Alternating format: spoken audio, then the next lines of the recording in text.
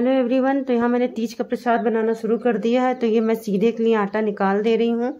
क्योंकि साफ़ आटा नहीं था तो मैंने नया मंगाया आटा तो निकाल दे रही हूँ पॉलीथीन में। अच्छा दाल, चावल, आलू, नमक सब मैंने पहले निकाल दिया है। और इधर मैं परात में पूड़ी के लिए आटा निकाल दे रही हूँ, और उसको मैं अभी सानूँगी। तो आप लोग को दिखा रही हूँ वीडियो में, लगातार वीडियो में बने रहिएगा आप लोग। और इसकी मैं छोटी छोटी पूड़ियाँ बनाऊँगी, चौबीस पूड़ी बनेगी।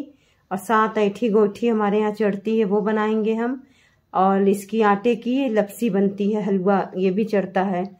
तो और जगह कई लोग कुछ और तरह का बनाते हैं, लेकिन हम जो शुरू से चढ़ाते आ रहे हैं, हम उसको ही बनाएँगे। तो ये देखिए, मैं चलनी को एक बार ज़रूरी होता है आटे को साफ़ करना वैसे साफ़ रहता है आटा, लेकिन फिर भी हमारा मन नहीं मान रहा है, हमने कहा एक बार चलनी से साफ़ कर दें आटे को। और इसमें मैं जो है, चाल के इसको सानूँगी। और सानने के बाद इसकी छोटी छोटी पूड़ियाँ बनाऊँगी। ये अब मैं आटा सानने, सान रही हूँ और इस पिछले ब्लॉग में मैंने आपको पूजा का सब सामान दिखा ही दिया था कि मैंने क्या क्या तीज की शॉपिंग की थी। तो वो सब मैंने आपका वीडियो जो है अपना डाल दिया है। आप लोग उसको जाके देख लीजिएगा मेरे ब्लॉग में। और इसको मैं सान के और इसकी छोटी छोटी नेवज नेवज जो है सभी के यहाँ बनती है, लेकिन इसको मैं छोटी छोटी पूड़ियाँ भी बेलूँगी। और ये देखिए मैं इसको सानूँगी ना इसमें ज़्यादा मुलायम आटा रहे, ना ज़्यादा सख्त बीज का आटा रहता है। और खूब बढ़िया इसको जितना मसल के आप सानेंगे, इतना अच्छी पूड़ियाँ बनती है, ये मेरा आटा गूँथ गया है। और इसके बाद मैं, सबसे पहले मैं ऐठी गोठी बनाऊँगी, सात ऐठी गोठी बनती है। इसमें मैं परथन निकाल दे रही हूँ उधर। इसके बाद मैं जो है, सबसे पहले ऐठी गोठी मैं करूँगी, सात बनाऊँगी। और वो दिखाते हैं बना के कैसे बनाते हैं हम ऐठी गोठी। और इसको लंबा लंबा लेके लोई छोटी छोटी इसको ऐठा जाता है तो उसको ऐठी गोठी हम लोग कहते हैं। इसको पतला पतला देखिए, लोई काटेंगे छोटा छोटा। तो ऐठी गोठी हम लोग शुरू चढ़ाते हैं तो हम लोग इसको जो है भगवान का रूप, प्रसाद का एक मानते हैं, और इसको हम लोग हमेशा चढ़ाते हैं। जैसे करवा चौथ पे चल, चढ़ता है चाँद, सूरज, ऐसे इसमें ऐठी गोठी चढ़ता है। और दोस्तों बहुत सारे लोग जो है, बहुत प्रकार का जो है बनाते हैं सामान, लेकिन हम लोग जो है साधारण तरीके से जो हमारे यहाँ शुरू से होता आ रहा है, इस तरह पूजा करते हैं। ये देखिए, मेरी ऐठी गोठी ऐसी बनेगी। इसको लंबा लंबा करके इसको जो है ऐठ देंगे। उसके बाद मैं इसको फ्राई करूँगी। जैसे पूड़ी तलेंगे, उसी तरीके से ये भी फ्राई होगा धीमी आँच पे, ताकि जो है अंदर से कच्चा न रहे। इसको पंडित को दिया जाता है, इसको खुद नहीं रखा जाता है। तो ये पंडित ले जाएँगे। और इधर मैं पूड़ी का जो है लोई बना रही हूँ छोटी छोटी उसके बाद मैं छोटी छोटी देखी कैसे मैं बेलूँगी पतली पतली जैसे नेवज होती है। बहुत सारे लोग को बड़ी बड़ी बनाते हैं तो अच्छा नहीं लगता है वो।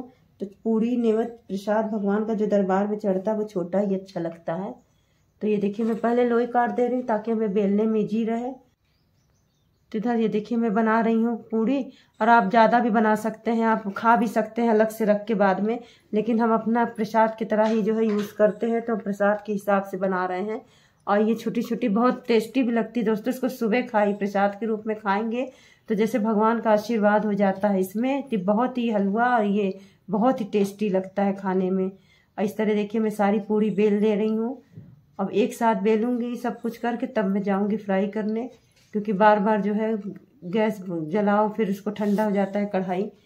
तो दोस्तों, आपको अगर कहीं पे आप अगल बगल या घर में प्रसाद ज़्यादा बनाना है या देना है तो उसमें आप ज़्यादा निवच बना सकते हैं। और हम तो तीन फल हमेशा चढ़ाते आए तो कई जगह लोगों ने कहा कि पाँच फल चढ़ता है। लेकिन हम लोग, हमने सोचा कि हमेशा जो है हमने तीन फल चढ़ाया, क्योंकि तीज है तो तीन होता है, द्विज है तो दो होता है। एकादशी पे देखिए, डिठवन में एक ही चीज़ चढ़ता है एक एक सब चीज़। तो लोगों ने कहा, कई लोगों ने कहा कि पाँच पाँच होता है, लेकिन हम शुरू से तीन चीज़ ही फल चढ़ाते आ रहे हैं। और इधर देखिए, मैं पूरी फ्राई कर दे रही हूँ। अब देखिए फूली फूली पूरी मेरी नेवज जो है फ्राई हो रहा है। इसको मैं सारी पूरी जो है फ्राई कर दे रही हूँ। और उसके बाद मैं देखिए, एक थाली में निकाल दे रही हूँ। आप चाहें तो इसमें ज़्यादा बाद में पूरी बना सकते हैं घर के लिए भी, क्योंकि जो है थके रहते हैं महिलाएँ, क्योंकि निराजल रहता है, ये व्रत बहुत कठिन पूजा रहती है।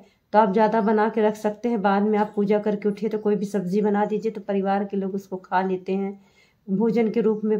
तो इसलिए आप जो है इसमें ज़्यादा भी पूरी बना के रख सकते हैं। लेकिन हमारे यहाँ बस दो ही लोग हैं तो हम बाद में ही बनाएँगे और क्योंकि आटा रखा है बचा हुआ इसी का। तो इसको देखिए मैं निकाल दे रही हूँ पूरी और उसके बाद फिर डाल दे रही हूँ। ऐसे लगातार पूरी पूरी मैं छान लूँगी। और इसके बाद ये हलवा आटे का बना दे रही हूँ। क्योंकि इसमें आटे का ही हलवा चढ़ता है, आटा शुद्ध माना जाता है। तो कोई भी धाम में आप जाइए तो वहाँ आटे का ही हलवा लेकर जाइए, क्योंकि आटा सबसे शुद्ध माना गया है। तो इसमें मैं जो है पूरी पूरी बनने के बाद मैं इसमें जो परथन बचा था उसी का मैं हलवा बनाऊँगी। और इसको मैं जो है प्रसाद के रूप में चढ़ा भी देंगी और सुबह इन्हीं का ही भोग लगाऊँगी जो हलवा बचेगा। और मिठाई वगैरह मैं हमेशा नहीं चढ़ाई हूँ, कभी नहीं चढ़ाई हूँ तो नया काम हम नहीं करते हैं। तो इन्हीं का जो है हलवा सुबह मैं भोग लगा के उन लोगों को तब मैं विदा करूँगी घर से।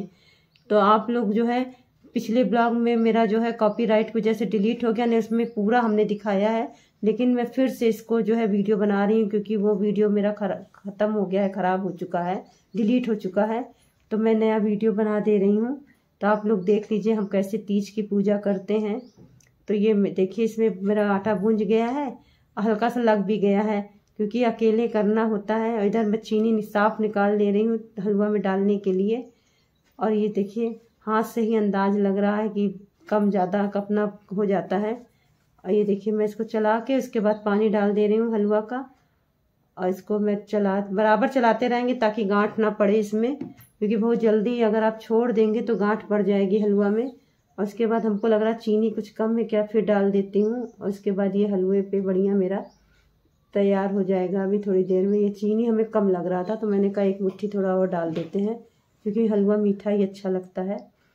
तो इसके बाद ये देखिए, हलवा बन के तैयार हो रहा है। दोस्तों, देखिए मेरा प्रसाद बन गया है, जो शाम को मैं भोग लगाऊँगी। तो इसमें आटे की लपसी है, हलवा, ये चढ़ाते हैं हम। ऐठी गोठी जो बना के हमने अभी आपको दिखाया है, ये नेवज है, चौबीस पूड़ी है, बारह बारह दो जगह पे रखी हुई है। इसमें हमें एक जोड़ा जो है पूरा बारह पंडित को देंगे और एक जोड़ा घर में प्रसाद के रूप में रोकेंगे। और ये कच्चा चना है। इसको जो है, इसमें चढ़ाया भी जाएगा और इसमें जो हम कथा पढ़ेंगे, उसके साथ भी इसको डाल डाल के इसमें हम लोग पूजा करते हैं उसमें गौरी गणेश पे। तो वीडियो आपको कैसा लगा तो वीडियो में आप कमेंट, शेयर और सब्सक्राइब प्लीज़ एक बार मैं फिर बार बार दोहराऊँगी। करते रहिएगा और कैसा लगा ये ज़रूर बताइएगा।